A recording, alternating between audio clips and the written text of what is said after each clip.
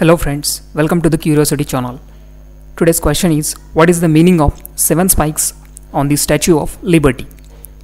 So, if you know the answer of this question, please drop your answer in our comment section. Statue of Liberty it is a 3 0 feet tall and the Statue of Unity has a 25 windows and 7 spikes.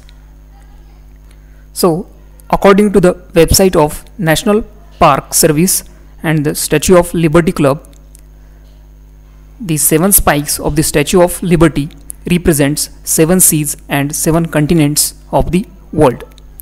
Yes, it represents seven seas and seven continents of the world as per the National Park Service website and Statue of Liberty Club.